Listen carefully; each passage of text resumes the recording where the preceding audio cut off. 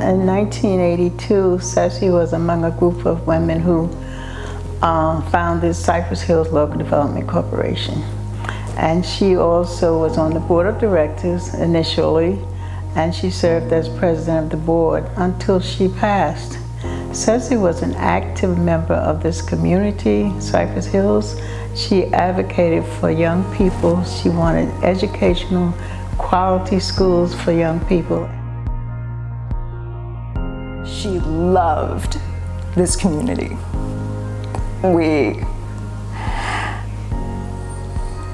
I never saw someone love a community so much as she did. So I'm pretty sure in, in deciding why a scholarship and why named after Ceci was because of her advocacy as far as education you know, was concerned. It was important to, to Ceci that people would be educated. You know, education is is a key to success. You give someone a tool and that opens their universe. But she said to me, you know, there are so many doors already closed if you're a person of color.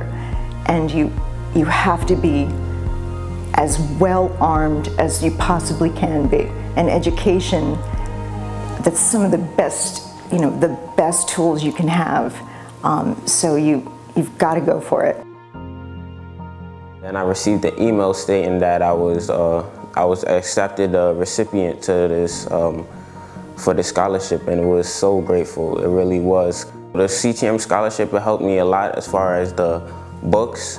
Like with my major, the books are very expensive as far as like $300, $400 books and all this stuff really helped.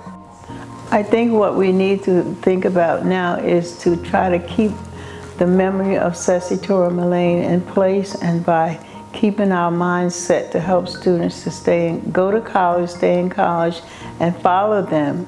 So I would like for everyone who is uh, here today and tell everyone else to kind of put their minds together to help uh, complete and follow the Ceci Toro Mullane Scholarship Fund by contributing